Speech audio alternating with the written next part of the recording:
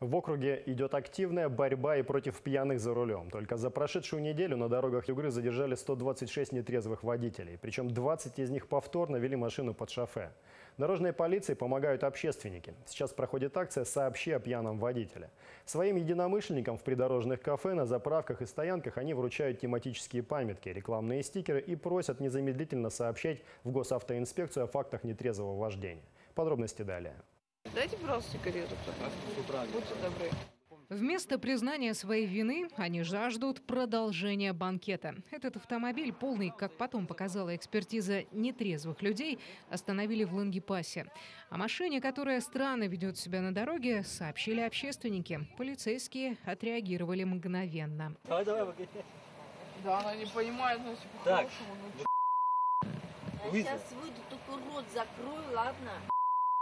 Этот человек находился за рулем. Сейчас он уверяет, что, в отличие от своих спутниц, трезв, а запах алкоголя – остаточное явление.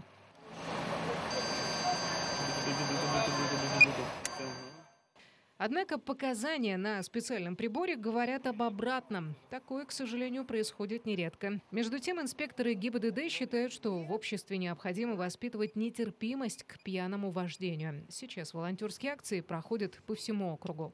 Сотрудники ДНД совместно с ГИБДД на одной из сети ав- автозаправочных станций распространяли листовки э, требований к законодательству в области управления транспортным средством, а также административной ответственности за пьяную езду и э, разъясняли возможность э, передачи информации о, о том, э, что водитель ездит в состоянии опьянения.